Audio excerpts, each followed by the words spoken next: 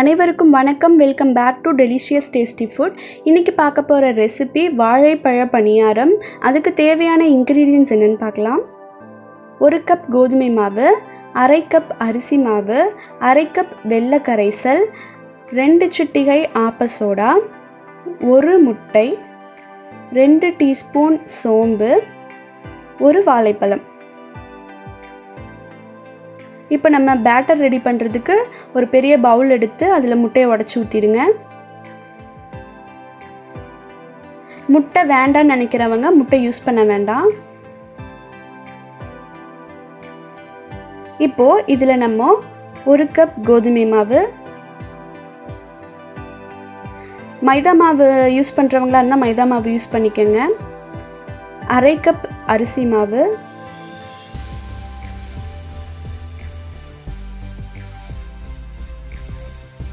ஒரு வாழைப்பழம். இந்த மாதிரியே கட் பண்ணிக்கோங்க. பொடியாக அறிய வேண்டாம். நம்ம பிணையும் போது அதுவே மசிஞ்சிடும்.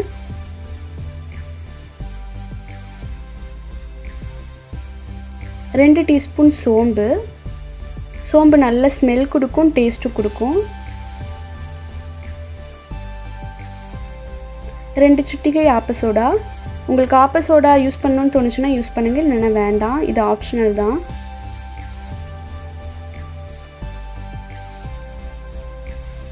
அரை கப் வெள்ளத்தை நான் தண்ணியில் கரைச்சி வச்சுருக்கேன். நீங்கள் சர்க்கரை போடுறதுனாலும் போட்டுக்கலாம். ஒரு கப் வெல்லம் போட்டால் சூப்பராக இருக்கும். நான் பாதி தான் போட்டிருக்கேன். எனக்கு அவ்வளோ தேவையில்லை. இப்போ ஒரு சிட்டுக உப்பு போட்டுடலாம் இதில். இப்போது இது நல்லா நம்ம மிக்ஸ் பண்ணிக்கலாம். நம்ம நிறைய தண்ணி ஊற்றி இப்போவே மிக்ஸ் பண்ண வேண்டாம். ஏன் அப்படின்னா நீங்கள் இப்படியே மிக்ஸ் பண்ண பிறகு நீங்கள் தண்ணி ஊற்றிட்டீங்கன்னா உங்களுக்கு அப்போ பபிள்ஸ் ஃபார்ம் ஆகாது. நீங்கள் இப்போவே கலக்கும் போதே நீங்கள் தண்ணி நிறைய ஊற்றிட்டிங்கன்னா சீக்கிரமாக பபிள்ஸ் ஃபார்ம் ஆகிடும் இப்போ பார்த்தீங்கன்னா நான் மிக்ஸ் பண்ணுறேன் பாருங்கள் இது நல்லா கெட்டியாக இருக்கும். அதுக்கப்புறம் நீங்கள் தண்ணி ஊற்றினதுக்கப்புறம் மிக்ஸ் பண்ணிங்கன்னா பபிள்ஸ் சீக்கிரமாக ஃபார்ம் ஆகாது. இப்போது நான் முக்கால் கப்பு தண்ணி எடுத்திருக்கேன். தண்ணியோட அளவு ஒவ்வொரு மாவுக்கும் வேரி ஆகும் அதனால் நீங்கள் குறைஞ்சி குறைஞ்சி ஊற்றியே நீங்கள் மிக்ஸ் பண்ணிக்கோங்க. ஒரேடியாக ஊற்ற வேண்டாம். இப்போ இதை நல்லா நம்ம மிக்ஸ் பண்ணணும். நம்ம மிக்ஸ் பண்ணும்போதே அந்த வாழைப்பழம் எல்லாமே நல்லா மசிஞ்சிடும்.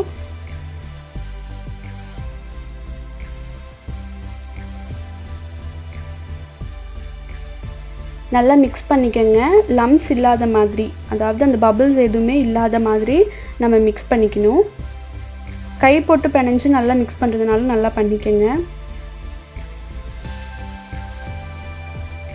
மாவு நல்லா திக்காக வந்துருச்சு. நல்லா நான் மசிச்சுட்டேன். ரொம்ப வாழைப்பழத்தை வந்து ரொம்ப மசிக்கக்கூடாது. ஒரு அளவுக்கு இருக்கணும். இப்போ பார்த்தீங்கன்னா அது வந்து கொஞ்சம் கொஞ்சமாக இருக்கணும். அப்போ தான் பணியாரத்தில் அது நம்ம கடிக்கும் போது நல்லாயிருக்கும் இந்த வாழைப்பழம் எல்லாமே. அந்த அளவுக்கு நீங்கள் வந்து மசிச்சுக்கோங்க. பணியாரக்கல் நல்லா ஹீட் ஆகட்டும். நல்லா ஹீட் ஆனதுமே இதில் நம்ம ஆயில் விட்டுக்கலாம். ரொம்ப ஆயில் விட வேணாம். ஒரு கால் டீஸ்பூன் அளவுக்கு மட்டும் விட்டால் போதும். மண்ணடுப்பு யூஸ் பண்ணுறவங்க விறகடுப்பு யூஸ் பண்ணுறவங்க நீங்கள் வந்து மண் சட்டி மண் சட்டியில் இருக்கிற குழிப்பணியாரம் கல்லை யூஸ் பண்ணிக்கோங்க. ஏன்னா ம நம்ம மர அடுப்பில் வந்து பண்ணோன்னா நல்லா வந்து அந்த ஃபயர் நல்லா எல்லா இடத்துலையும் ஸ்ப்ரெட் ஆகும். ஆனால் அதையே நீங்கள் இங்கே வந்து கேஸ் அடுப்பில் வச்சிங்கன்னா நடுவில் மட்டும்தான் ஹீட் ஆகிட்ருக்கும் உங்களுக்கு வந்து பணியாரம் நல்லா வராது. இங்கே பார்த்தீங்கன்னா நான் வந்து ஸ்டீலில் வந்து அது திருப்பி போடுறதுக்கான ஒரு ஸ்டிக் வச்சுருக்கேன். உடன்லையும் கிடைக்கிது. நீங்கள் நான்ஸ்டிக் தவா வாங்கினீங்கன்னா அதில் கொடுப்பாங்க. அப்படி இல்லைனா இதை நீங்கள் வாங்கி வச்சுக்கலாம். நம்ம இப்போது நல்லா அது ஹீட் ஆகிடுச்சு இதில் நம்ம பனியார மாவை ஊற்றலாம் ஃபுல்லாக ரொம்பி வலிகிற மாதிரி ஊற்றக்கூடாது அந்த குழிக்குள்ளேயே இருக்கிற மாதிரி ஊற்றுங்க அப்போ தான் நம்மளுக்கு திருப்பி போடுறதுக்கு ஈஸியாக இருக்கும். ரவுண்ட் ஷேப் வரும். கொஞ்சம் வெளியே வந்துட்டால் கூட நம்மளுக்கு திருப்பி போடுறதுக்கு கொஞ்சம் கஷ்டமாக இருக்கும். அது கொஞ்சம் பார்த்து கரெக்டான அளவில் உள்ள ஊற்றிக்கலாம் இப்போ ஃபயர் வந்து மீடியம் ஃப்ளேமில் தான் இருக்கணும். நீங்கள் குறைக்கவே வேண்டாம். மீடியம் ஃப்ளேம்லேயே அது இருக்கட்டும் கடைசி வரைக்கும்.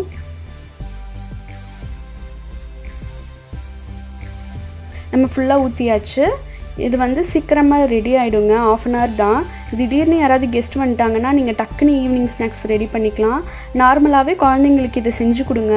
ஈவினிங் டீக்கு காஃபிக்கு இது சூப்பரான ஒரு ஷைடிஷ்ஷு சுட சுட சாப்பிட்டிங்கன்னா சூப்பராக இருக்கும் இது. இதோட டேஸ்ட்டே கொஞ்சம் டிஃப்ரெண்ட்டாக இருக்கும்.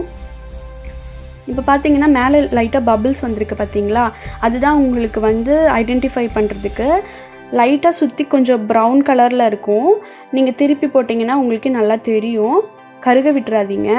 அதை பார்த்துக்கங்க நல்லா.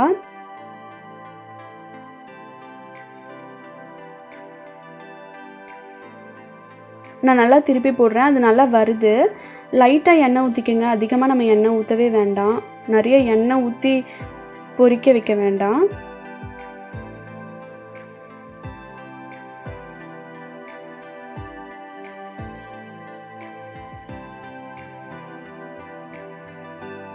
இது வந்து சட்டுன்னு வந்துடும் நம்ம வந்து ரொம்ப கஷ்டப்படுத்தி திருப்ப வேண்டாம். நீங்கள் வந்து ஸ்பூன் யூஸ் பண்ணுறதுனாலும் யூஸ் பண்ணிக்கோங்க. உங்களுக்கு ஸ்டிக் யூஸ் பண்ண முடியலன்னா ஸ்பூன் வந்து மெலிசாக இருக்கும் இல்லைங்களா? திக்னஸ் கம்மியாக இருக்கிற ஸ்பூன் எடுத்து யூஸ் பண்ணிக்கோங்க. ஈஸியாக வரும். இப்போ இது நல்லா பொரிஞ்சு வந்துருச்சு. நல்லா ரெண்டு சைடும் ப்ரௌனாக இருக்குது பணியாரம் சீக்கிரம் ரெடி பண்ணிடலாம்.